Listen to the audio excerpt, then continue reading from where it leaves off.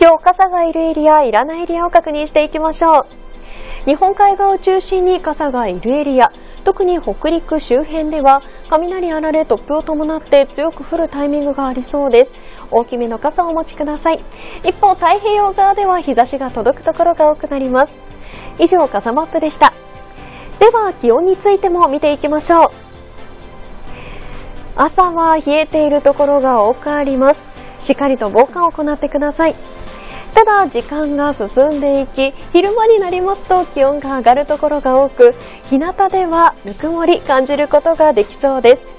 日が陰ったりまた夜になっていきますとまた気温が下がっていきますのでこちらでもしっかりと服装やあとはマフラーや手袋などでしっかりと防寒を行ってください。以上気温についても確認していきました。